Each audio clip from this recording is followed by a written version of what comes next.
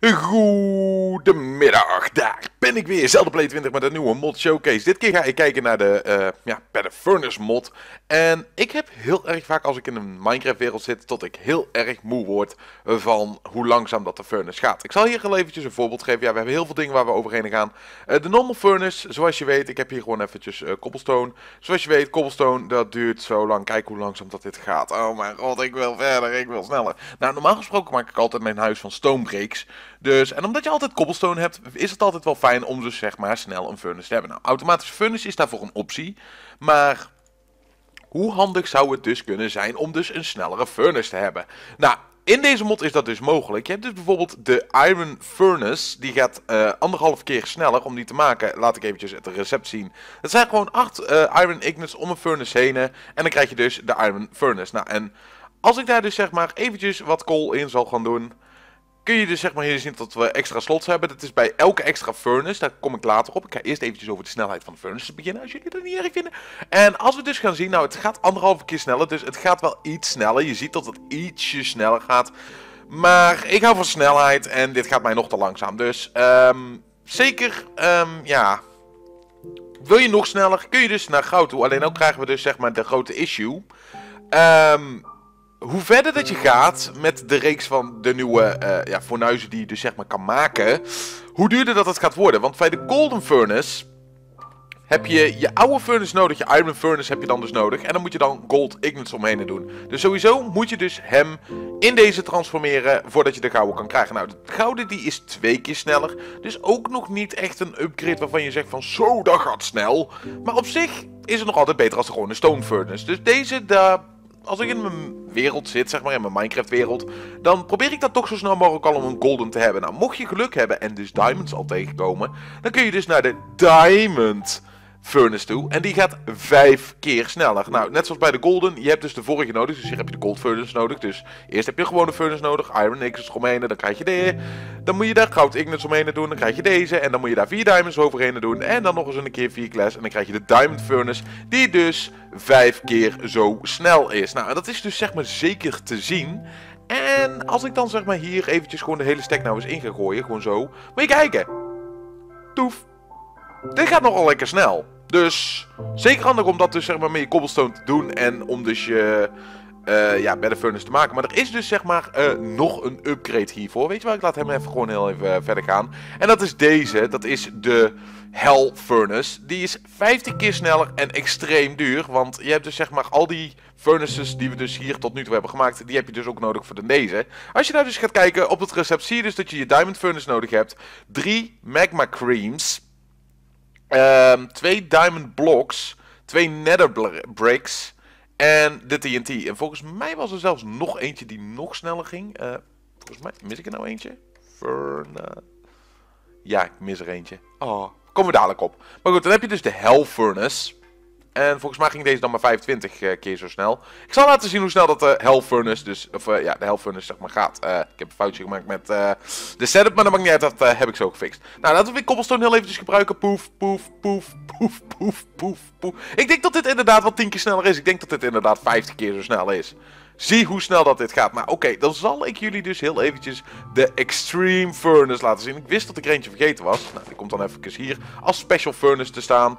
En om die te maken heb je dus zeg maar ook de voorgaande nodig. En dan heb je een Nether Star, twee Eyes of Ender en Endstone dus nodig en een Nether Brick. En dan krijg je dus de Extreme Furnace. Nou, als die 50 keer gaat, dan dacht ik dat deze zelfs 100 keer sneller zou gaan. Um, om heel eventjes eerst te laten zien hoe snel dat die gaat, waarom ook niet. Binnen 10 seconden is dit gewoon gesmolten. Een hele stack vol. Nou, dan lijkt het me nou ook een heel erg handig iets om te laten zien hoe dat zeg maar de upgrades werken. Nou, er zijn een paar upgrades. Uh, ik laat de recepten natuurlijk ook zien. Er zijn een paar upgrades. Ik weet niet wat ze doen. Ik heb er een diverse testen mee gedaan. Uh, de dingen waar ik dus niet weet wat ze doen, dat is dus zeg maar de color upgrade. De auto output upgrade factory upgrade en deze upgrade. Ik zou god niet weten wat ze doen. Ik zal heel eventjes de recepten laten zien. Gold Ignite met alle kleurtjes eromheen. Geen idee wat het doet. Um, glas met uh, ja, Iron Ignites en Gold Ignites. Uh, geen idee wat het doet. Volgens mij staat hier met diamonds. Yep, diamonds en die andere twee kleurtjes. Dan krijg je dus zeg maar die en dan lap. Geen idee wat het doet. En deze zal wel met goud gemaakt worden en een diamond in het midden. Ja, geen idee wat het doet. Dus ik weet niet wat ze doen. Ik heb het al met alles geprobeerd. Maar deze die we hier hebben staan, die wil ik jullie wel zeker laten zien. Deze die zorgt ervoor dat je kool langer meegaat. Dus op het moment dat ik die erin plaats en ik doe de cobblestone in, dan zie je dus dat mijn kool veel langzamer opgaat en dus eigenlijk veel langer meegaat. Normaal gesproken is de kool geloof ik uh, per 10 of per 5 Volgens mij. Ja, nou, in ieder geval, je, je kool gaat langer mee, laat ik het zo zeggen. Nou, hij is ondertussen ook klaar. Maar ja, zoals je ziet, heeft deze dus, zeg maar, een uh, energiebarretje. En die kan dus kapot gaan. Nou, wat dus het voordeel is bij deze, als je hem niet gebruikt hebt, dan heb je dus, zeg maar, je hebt lapis lazuli bloks nodig. Eindelijk een keer een huge voor lapis lazuli. Uh, en de pearls en natuurlijk gewoon kool en dan krijg je dus deze. Maar je kunt hem dus upgraden naar de advanced fuel. En die heeft geen durability, die blijft gewoon on beperkt doorgaan. En die maak je dus zeg maar met je oorspronkelijke. En dan heb je nodig een gas steer, 4 diamonds en 3 eyes of enders. Dus zeker duur, maar zeker handig om dus onbeperkt extra kool te hebben. Maar ja, op dit punt van het spel denk ik niet dat je zoveel nog zou moeten smelten. Maar zeker handig om dat te weten. Nou, dan gaan we naar een van de beste upgrades in het spel. Weet je wel dat je altijd weinig uh, iron of gold hebt of weet ik veel wat. Nou, daar heb je dus deze voor. Om deze te maken heb je dus 7 stone nodig en eh, 1 piston en uh, flint en steel. Nou, om een piston te maken, dat uh, staat hier standaard in het recept. Dat ik ook eventjes snel laten zien. En die kun je dus upgraden. Ik ga nog niet eens vertellen wat hij nou doet. Ik ga gelijk eens door naar de upgrade. De upgrade is 4 diamonds, 2 obsidian, 1 van, ja, gewoon dat ding wat je net gemaakt hebt en dan 2 extra pistons. Dus nog niet eens zo duur als die koolbespaarder. En wat hij doet is gewoon meestelijk. Daarom heb ik hier ook expres Iron Ore meegenomen. En als ik die er dus in ga doen, Iron Ore, of uh, de upgrade, die doen we erin. En dan komt de Iron Ore, die gaat er dus uit. En voor elke Iron Ore krijg je dus twee blokjes. Let op, we komen dadelijk op 64 en dan stopt hij automatisch met branden. Omdat, ja, er is geen ruimte meer. Dus, ja...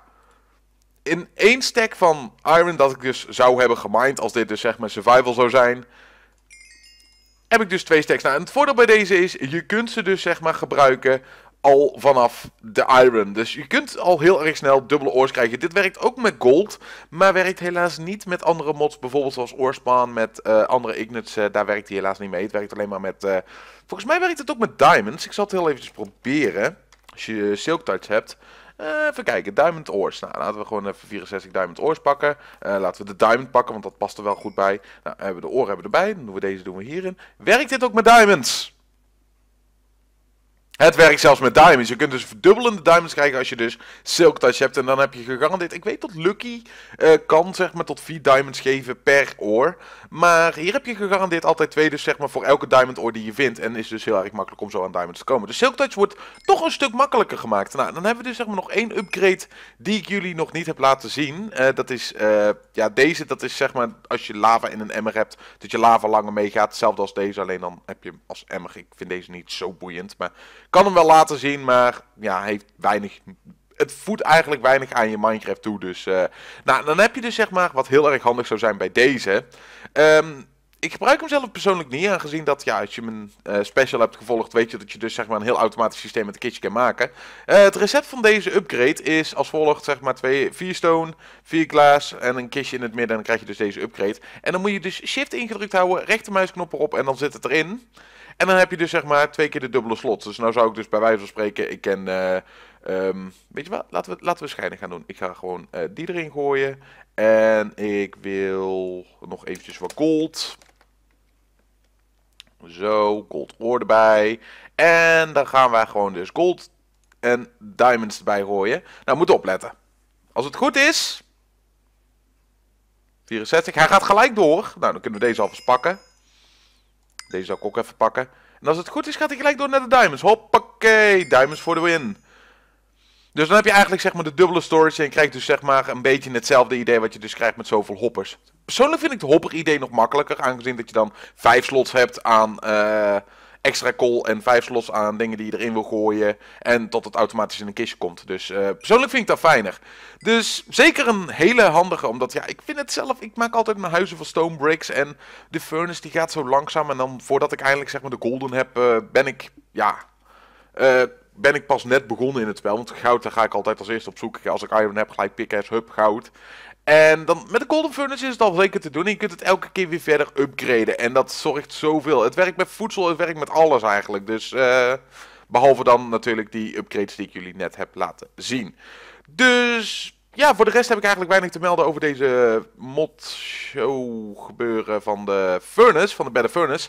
Um, het is een kleine mod, maar het maakt wel dingen makkelijker met het maken van. En goud wordt natuurlijk ook een stuk makkelijker, of ja, meer uh, dat je ermee kan gebruiken. En die verdubbelaar, zeker een must-have als je het mij vraagt. Ik bedoel, moet je kijken hoeveel diamonds ik heb. Ik heb hier gewoon twee stacks of diamonds. En ik heb maar één, van, één stack van alles heb ik er maar ingespannen. Nou, in de smoothstone, nou zoals je dus weet, maak ik er altijd zo'n bricks van. En ja, ik, ik vind het zeker een hele handige mod. Dus, uh, nou, zoals altijd, link staat in de beschrijving. Uh, ja, en laat weten wat jij zou gebruiken, wat, waarvoor dat jij deze mod zou gaan gebruiken. Of dat deze mod inderdaad zeker handig is voor je modpack.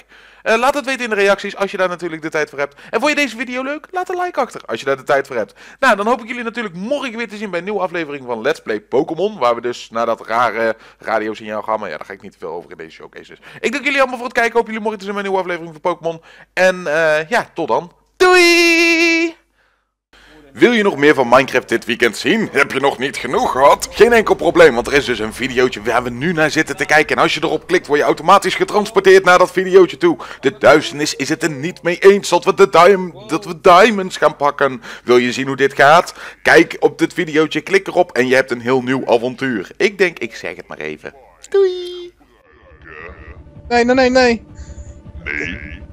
Nee, nee, Wat nee. doet die piramide diamonds dan achter mij?